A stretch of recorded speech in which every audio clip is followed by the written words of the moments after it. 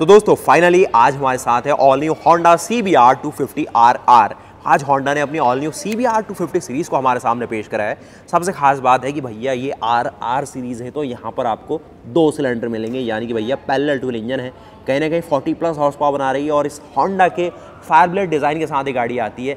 आपको समझाते हैं क्या कुछ स्पेशल है। उसके अलावा ये ना, इसका ट्राई कलर टोन है। रेड का ऑप्शन है वाइट का ऑप्शन है और ट्रेडिशनल अपना ब्लू ऑप्शन है तो प्रॉपर यहाँ पर एचआरसी थीम बन के निकल रही है। क्या है खास इस गाड़ी में? कहने के क्या प्राइसिंग के साथ ये गाड़ी रहेगी और इंडिया में? क्या इसका कंपटीशन है? वो आप देख लीजिए। अब पहले टू इंजन हम इंडियंस के लिए ना हमेशा थोड़ा सा प्रीमियम चीज़ रही है, कहीं ना कहीं सिंगल सिलेंडर हमें स्टार्टिंग से मिलते हुए आ रहे हैं। कावासाकी कॉमन है इस चीज़ के लिए, आप देखेंगे रॉयल इनफील्ड अपनी जीटी सीरीज़ अपनी इंटरसेप्टर सीरीज़ दे रही है चीज़। लेकिन यहाँ पर भाई जब होंडा ये चीज़ अपने बजट के साथ देती है ना तो क्या कुछ देती है, वो आपको समझाता हूँ। और ये होंडा की एक तरीके से ना स्टार्टिंग सीरीज़ है। अगर आप इनका पैरेलल टू लाइनअप एक्सपीरियंस करना चाहते हैं, फिर इसके बाद इनकी बड़ी सीरीज़ आती है, जहाँ पर 400 सीरीज़ है कहीं ना 500 है, लेकिन फिर वो सब बहुत ही ज़्यादा एक्सपेंसिव है। ये तब भी गाड़ी ऐसी है कि जो बजट में है, वो आपको दिखाता हूँ। बाकी ये देख लो भाई ट्विन एग्जॉस्ट मिलेगा जो कि प्रॉपर वर्किंग के साथ ऐसा नहीं कि एक ही एग्जॉस्ट को दो बना दिया गया। ये डिज़ाइन है, बाकी नाम आप पढ़ लो इसका।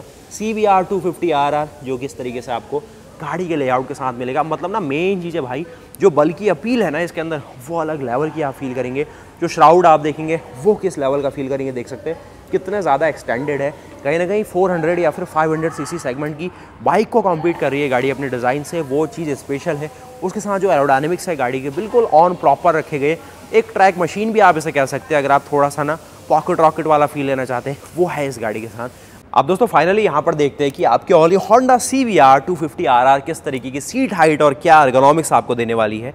डिज़ाइन में गाड़ी बिल्कुल पास है कंफर्ट और इन चीज़ों में गाड़ी थोड़ा पीछे है, क्योंकि ये गाड़ी को ना थोड़ा सा रेस ट्रैक के हिसाब से बनाया गया है। पैर को ही आप देखो किस हिसाब से पीछे की ओर यहाँ पर फोल्ड अप होते हैं और इस तरीके से थोड़ा सा कमिटमेंट आप इस गाड़ी की और देंगे जब आप इस गाड़ी को चलाएँगे। कहीं नहीं थोड़ा सा ट्रैक में चलाना तो इस तरीके से एक आपको यहाँ पर विंड स्क्रीन भी दी गई है और थोड़ा सा ना एक स्पोर्टी फ्रंट एक गाड़ी अपने साथ ला के देती है। उसके अलावा गाड़ी का जो वेट है 170 सेवेंटी से नीचे है ड्राइव वेट तो काफ़ी इजी है कॉर्नर करने में, लेकिन फिर भी थोड़ा सा जो फ्रंट एंड यहाँ पर बल्कि रखा गया है, वो थोड़ा सा यहाँ पर ज़्यादा आपसे एक स्किल सेट मांगेगा। और आप अगर इसको यामा आर थ्री के मुकाबले कॉम्पीट करते हैं तो ये गाड़ी उससे बहुत ही ज़्यादा बढ़िया लग रही है डिज़ाइन में। आर थ्री का डिज़ाइन थोड़ा सा आउटडेट हो गया है। इसका डिज़ाइन बिल्कुल नया, जो फायर ब्लेड में आपको नॉर्मली मिलता है, वही है। उसके अलावा देखिए, यहाँ पर आपको सी की एक मैंशनिंग यहाँ भी रखी गई है। काफ़ी शार्प और काफ़ी ज़्यादा ना, एक एग्रेसिव लुकिंग आपको यहाँ पर हेडलैम्प ऑफ़र किए गए। शोवा के सस्पेंशन है, यहाँ पर फोक भी गोल्डन है, उसके साथ ही अलॉयस को भी गोल्डन रखा गया है। उसके अलावा साइज़ की बात करें one ten seventy radial seventeen और पैटल डिस्क के साथ यहाँ पर इस तरीके की आपको डिस्क ब्रेक के ऑप्शन दिए गए, जिसमें आपको ए की रिंग मिलेगी। निसन के आपको इसमें डुअल पिस्टन कैलिपर मिलेंगे, जो कि इस तरीके के आप प्रॉपर डिज़ाइन के साथ यहाँ पर देख सकते हैं। मेन चीज़ है ना, जो पैरेलल टू इंजन है, वही भाई एक हेरिटेज यहाँ पर कैरी फॉरवर्ड करता है होंडा की तरफ़ से। लिक्विड कूल्ड इंजन है और यहाँ पर आप देखेंगे रेडिएटर के ऑप्शंस हॉर्न का प्लेसमेंट आप नोटिस करेंगे। उसके अलावा जो चैसी यहाँ पर यूज़ की गई है, उसी तरीके से है कहीं ना कहीं जो आपको होंडा की ये जो सी वी आर है, वो अपने साथ देती है। किस तरीके की डिज़ाइन फ़ंक्शन है, दोनों बाइक्स में आप देखिए। इसमें आप देखिए, स्विंग आर्म आपको बेसिक टाइप मिलेगी। यहाँ पर आपको प्रॉपर एल्यूमिनियम अलॉय के साथ मतलब जो होना चाहिए ना एक स्पोर्टी बाइक में, वो चीज़ दी गई है। अब इसका जो इंडिया में कॉम्पिटिशन है, वो है R one five V four वहाँ पर आपको एल्यूमिनियम अलॉय की स्विंग आर्म मिल जाती है। लेकिन ये चीज़ C B R one fifty R के साथ होंडा ने मिस आउट करी। नॉर्मल आपको स्टील लिम के साथ दिया। तो ये थोड़ा कॉस्ट कटिंग रहा। उसके अलावा यहाँ पर कोई दिक्कत नहीं, जो कि आप यहाँ पर भी देखेंगे, किस तरीके से एक ट्रेडिशनल लुक जो एक स्पोर्टी बाइक का होता है ना, वो मेंटेन किया गया है। थोड़ा पास से आप कंसोल देखेंगे तो हैंडल बार को बहुत ज़्यादा एग्रेसिव रखा गया है और एक बड़ी बाइक जो एक बिग बाइक वाला फील है ना, वो इसके साथ है। उसके साथ यहाँ पर देखेंगे थोड़ी सी ऐसी बाइक जो शहरों में चलाई जा सके मतलब जिसमें ज़्यादा कमिट हो गया, आपका ना चलाना पड़े, थोड़ा बहुत ऑफ़ रोड भी हो तो आप इसमें ईजिली हैंडल करते हुए निकल जाए।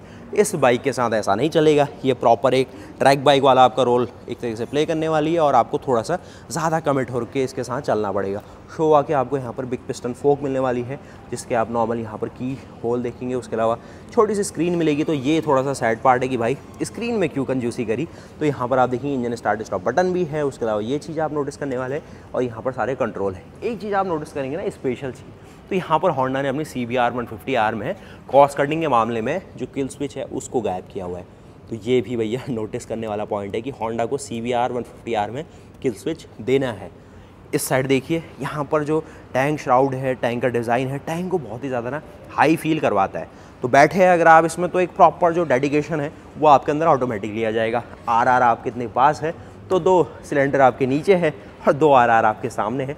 उसके अलावा यहाँ पर देखेंगे इस तरीके की चीज़ें हैं। क्वालिटी बहुत सही है। यहाँ के मुकाबले बहुत ही ज़्यादा एक पैनल की जो क्वालिटी होती है ना स्टेबल मुझे फील हो रही है। उसके अलावा यहाँ पर सीट का इस तरीके से मामला है, जो कि थोड़ा सा स्पोर्टी सेंस में रखी गई है। कुछ चीज़ देख रहे हैं? अब ये सारा कुछ यहाँ पर मेटल है शायद। तो ये मेटल ही मुझे फील हो रहा है, जो कि अलॉय है। तो ये चीज़ यहाँ पर एडिशनल सपोर्टिंग के लिए या फिर एक अलग डिज़ाइन लेआउट लाने के लिए रखी गई है। पीछे का जो टेल टाइडी है, उसको ही शायद यहाँ पर आपके सामने पेश करने की कोशिश की गई है। उसको देखेंगे यहाँ पर, साथ ही देखेंगे यहाँ पर आपको एलईडी इंडिकेटर्स मिलेंगे, जो कि काफ़ी प्रीमियम क्वालिटी ऑफ़र की गई है। पीछे का टायर साइज़ देखेंगे गाड़ी के डिज़ाइन को बिल्कुल कॉम्प्लीमेंट कर रहा है।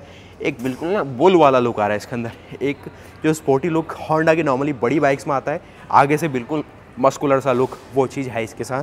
कहने कहीं फ़र्स्ट टाइम जब हमने भी इस बाइक को देखा था, बहुत ज़्यादा इंप्रेस हो गए थे। और बट प्राइसिंग से थोड़ा सा शॉक भी हुए थे, वो बताता हूँ आपको।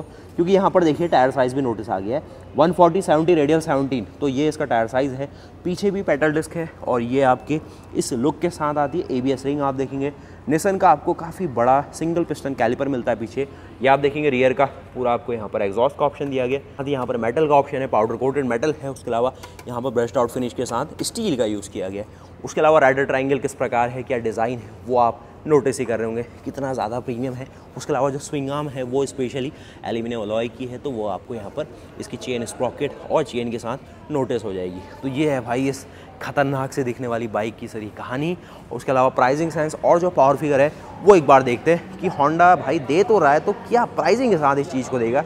सबसे पहले देखिए ना, जो इंजन ऑप्शन यहाँ पर होंडा इस गाड़ी के साथ दे रहा है, ये एक्चुअल सीसी है 249.7 सीसी यानी कि 250 सीसी सेगमेंट की ये पैरेलल टू इंजन के साथ आई हुई अपने सेगमेंट की गाड़ी है।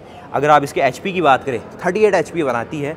नियरली देखें तो 40 एच के आसपास की पावर है क्योंकि यहाँ पर ये 12,500 आरपीएम तक बहुत ही खतरनाक रेव हैप्पी नेचर आपको इंजन में ऑफ़र करती है। 12,500 आरपीएम पे ये 38 एच बना रही है जो कि काफ़ी सही। उसके अलावा अगर आप इसके टॉक की बात करें टॉक थोड़ा कम है। 23.3 एनएम का मैक्सिमम टॉक जो कि 11,000 आरपीएम पर बनेगा। तो नियरली अगर देखें तो 40 एचपी है और करीब 25 एनएम का टॉक है। किस तरीके से आप यहाँ पर देखते हैं इंडिया में जो आपकी हीरो की तरफ़ से करिश्मा आई है एक्सएमआर सीरीज़ जो कि 210 सीसी का डीओएससी इंजन दे रही है। लेकिन चलने में दोनों गाड़ियाँ ज़मीन आसमान का अंतर फील कराएगी, क्योंकि इसका जो साढ़े बारह हज़ार आरपीएम का इंजन है ना, वहाँ पर अगर हीरो और बजाज जाने की कोशिश करे तो भैया ब्लास्ट हो जाएगा, वो चीज़ है। वही सब कुछ इंजीनियरिंग है और कहीं ना कहीं पैलर टू इंजन के साथ बहुत ईजी रहता है। रॉयल इनफील्ड को आप देखिए, कितना ज़्यादा रैव हैप्पी नेचर है, जबकि उस इंजन को टॉक के लिए बनाया गया है। लेकिन फिर भी इतना ज़्यादा ईजिली रैव करता है कि भाई मज़ा ही आ जाता है। और साथ ही साथ थोड़ी और चीज़ देखिए, गाड़ी में आपको एक तरीके से ना जो पूरा लेआउट रखा गया है एक स्पोर्ट बाइक को कॉम्प्लीमेंट करके किया गया है। स्पोर्ट बाइक में एक नेगेटिव रहता है कि टैंक का साइज़ थोड़ा छोटा रहता है। इसमें साढ़े चौदह लीटर का टैंक यहाँ पर होंडा ने दिया है। उसके अलावा कुछ और फ़ंक्शन फीचर आप देखिए तो गाड़ी का एक तरह से ग्राउंड क्लियरेंस जो नॉर्मली हम इंडिया में देखते हैं थोड़ा सा कम है। 148 फोर्टी mm का यहाँ पर आपको ग्राउंड क्लियरेंस की वैल्यू बताई गई है। साथ ही साथ गाड़ी की जो सीट हाइट है 724 ट्वेंटी mm मुझे ज़्यादा नहीं लगी। लगभग यहाँ पर सी बी आर वन के आजू बाजू ही जो सीट हाइट है, वो लग रही है। एक बार यहाँ पर आप देखिए उसके साथ यहाँ पर देगी अभी थोड़ी सी ना छोटी सी बाइक लग रही है। कहीं ना कहीं प्राइसिंग में भी आपकी दो लाख की बचत हो रही तो वो डिफरेंस एक बहुत बड़ा है। उसके अलावा जो व्हील बेस है गाड़ी का, यहाँ पर व्हील बेस हॉन्डा ने मुझे बताया था 1385 mm का, तेरह सौ पचासी mm का इस गाड़ी का व्हील बेस रहने वाला है। बाकी इसकी लंबाई 2060 mm की इसकी लंबाई है। साथ स्पोर्ट बाइक में सबसे ज़्यादा मेन चीज़ जो रहती है ना वेट 166 kg का इसका कॉव वेट है, यानी कि ड्राइव वेट है। अगर आप पूरा राइडर के साथ भी देख लोगे 250 फिफ्टी से नीचे है इस गाड़ी का पूरा वेट और ये सारा चीज़ें। तो ये चीज़ आपने सब कुछ देख ली 148 फोर्टी mm का ग्राउंड क्लियरेंस थोड़ा इंडिया के हिसाब से इसको दिक्कत भरा बनाएगा आपके लिए। साथ ही साथ यहाँ पर आपको जो ब्रेकिंग सिस्टम है, वो ऑफ़र किया गया प्रॉपर अलॉय है, ये कुछ चीज़ें हैं और इसकी प्रॉपर शील्डिंग की गई है। कोई भी चीज़ ऐसी नहीं लगेगी आपको जहाँ पर लॉन्ग रन में रिलायबिलिटी में आपको दिक्कत आए तो होंडा की वो चीज़ खास बात है।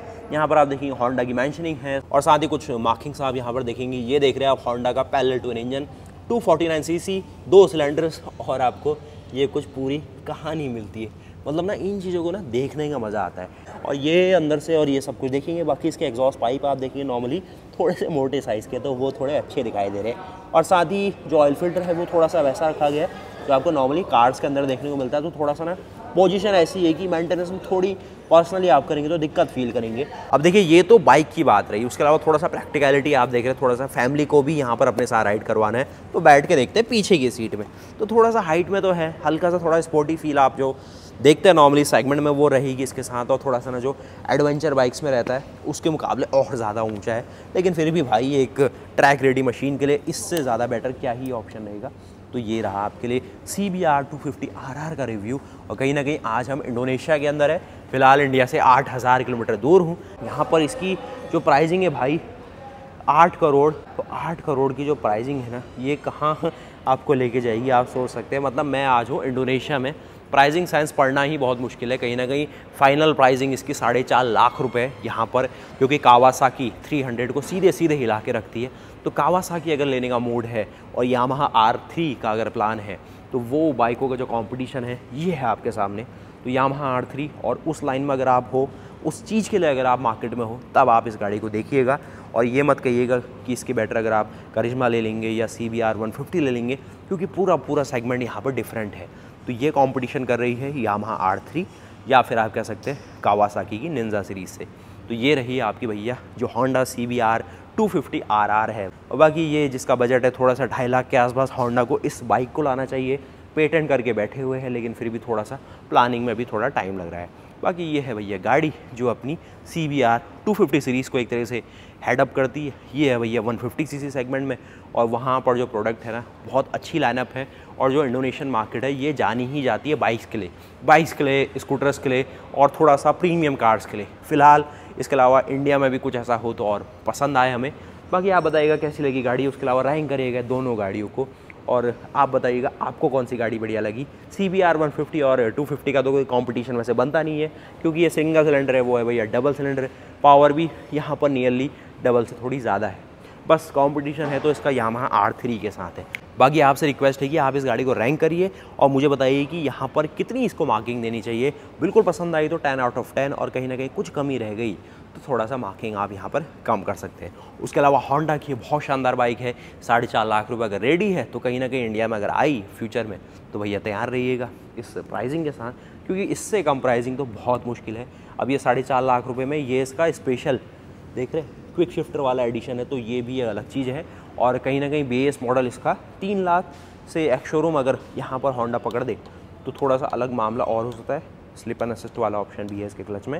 यामा आर थ्री उसके लिए अगर आप मार्केट में हैं उसके अलावा अगर आप देखें कावासा के निंजा सीरीज़ के लिए आप मार्केट में हैं, फिर जाकर ये गाड़ी कॉम्पीट करती है। नहीं तो आप मत कहिएगा कि भाई साढ़े चार लाख रुपये होंडा ने हमसे मांगे और हम शोरूम से भाग के आ गए। वो चीज़ यहाँ पर नहीं है। जो चीज़ आपको दी गई है, जो मशीन आपको यहाँ पर दिखाई गई है, अलग लेवल की चीज़ें जो इक्विपमेंट फ्रंट यहाँ पर है, जो हार्डवेयर इसमें मिल रहा है, वो अलग लेवल का है। वो यहाँ पर उससे कॉम्पीट नहीं होगा, जो C B R one fifty के अंदर मिलेगा या फिर जो इंडिया में आपको Bajaj R S two hundred है R one five V four है। मतलब इस सेगमेंट में ना ज़्यादा बाइकें है ही नहीं। थोड़ा सा अगर आप इंडिया में स्ट्रीट 400 को देखें, वो भी थोड़ा सा बजट के हिसाब से डेडिकेट की गई है और थोड़ा सा ना ये फेयरिंग और ये ट्विन पिस्टन सिलेंडर इन सब चीज़ों से दूर है। आज तक जितनी बाइकें हम इंडिया में अभी तक देखते हुए आ रहे हैं, कहीं ना कहीं रॉयल इनफील्ड ने हम इंडियंस को वो चीज़ का टेस्ट तो करवाए कम से कम जहाँ पर इंटरसेप्टर में आप जो इंजन देखते हैं जी टी कॉन्टिनेंटल में देखते हैं, आपको six fifty C C segment में पैरेलल ट्विन का इंजन दे दिया आपने में भाई, अलग लेवल की चीज़ है और प्राइसिंग बहुत सही तरीके से मैनेज करी। बाकी होंडा हमेशा थोड़ा सा प्रीमियम होके आगे चलता है तो कहीं ना कहीं प्राइस हल्की सी एक्सपेंसिव फ्रंट में जाती है। बाकी जिसको बजट बाइक चाहिए, उनके पास होंडा की जो एसपी सीरीज़ है, वो है ही भाई। एस पी ले लो और कहीं ना कहीं थोड़ा माइलेज और बेहतर चाहिए तो उससे नीचे एस पी भी ले लो।